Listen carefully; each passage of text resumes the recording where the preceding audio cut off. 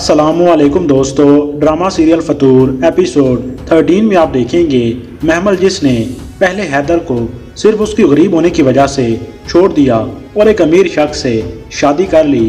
अब हैदर का रुपया पैसा शान शौकत देख के इसके घर में डेरे डाल देती है और आहिस्ता आहिस्ता पुरानी यादों को भी कुरेती है।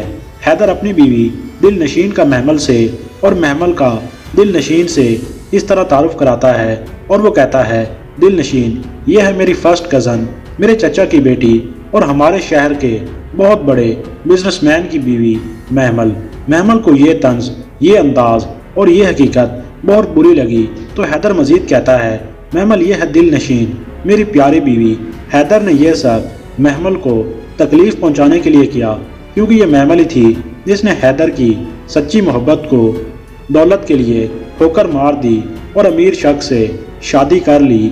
मगर अभी भी हैदर किसी का नहीं हो सका, ना महमल का और ना ही दिल नशीन का, क्योंकि दिल नशीन अब भी हमजा से मोहब्बत करती है।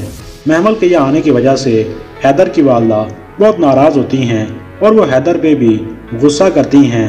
तुम तो अपनी ज़िंदगी को इस खुद गर्ज औरत के पीछे कुर्बान करने चले थे और उसने तुम्हारे दिल को खिलौना बनाया हुआ था। जब दिल चाहा, खेल लिया और जब दिल चाहा तोड़ दिया। महमल की अब पूरी कोशिश है कि हैदर को अपना बनाया जाए और दिल नशीन से छीन लिया जाए। वो हैदर को कॉल करके कहती है, हैदर, ये तुम ही तो हो जिसने मुझ जैसी मटीरियलिस्टिक लड़की के दिल में प्यार डाल दिया, मेरे दिल को पिघला दिया। इधर दिल नशीन भी हैदर को खुद से करीब होने नहीं दे रही। दिल नशीन बेड पे बैठी होती है तो हैदर उसके करीब बैठ के उसके हाथ पे अपना हाथ रखता है।